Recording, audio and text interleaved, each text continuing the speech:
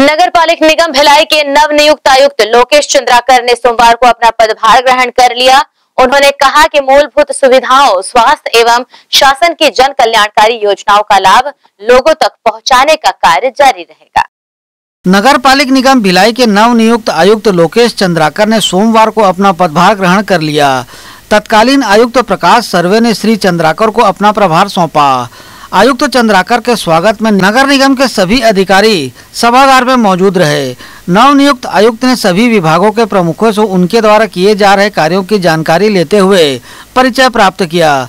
बहरहाल, इस अवसर पर अधिकारियों के साथ कर्मचारी कांग्रेस से अरुण सिंह, संजय शर्मा, देवेंद्र मोहन, शिव शर्मा आदि भी उपस्थित थे।